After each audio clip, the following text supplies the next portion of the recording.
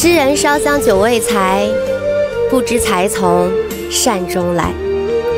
为人有德天长佑，行善无求福自来。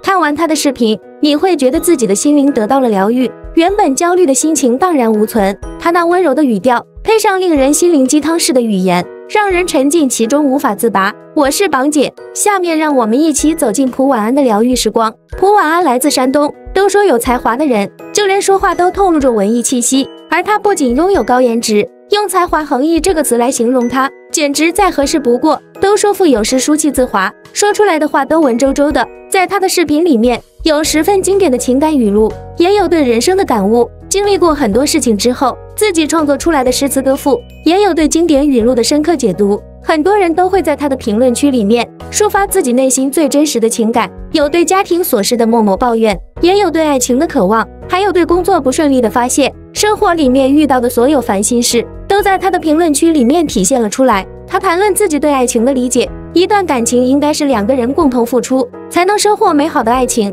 如果仅仅是一个人单相思，这段感情到头来只重要，但一旦你伤了我的心，那他一定会把你丢掉。不知道这句话写出了多少人对恋爱脑的感悟。很多人都会对自己的年纪耿耿于怀，而在他这里却完全释怀。当我们感叹自己又老了一岁的时候，更多的应该是庆幸自己又平安度过了一年，感受了人间冷暖，一年四季的变化。他能够把那些杞人忧天、不切实际的想法，通通一并打消。不少网友都表示，看完他的视频之后，都觉得。他应该被称为是全网反内卷、反内耗第一人，不浪费时间去思考那些并不存在的问题，而是花更多的时间去体会生活。有人说他长相恬静，说话声音非常温柔，笑起来十分的迷人，还如此的有才华又有颜值。很多网友靠才华走红，也有很多网友靠颜值走红，而他这两个方面全都兼具。虽然没有搞笑或者感人的剧情，单单只是一个出镜的视频，就能够吸引四百多万粉丝的关注。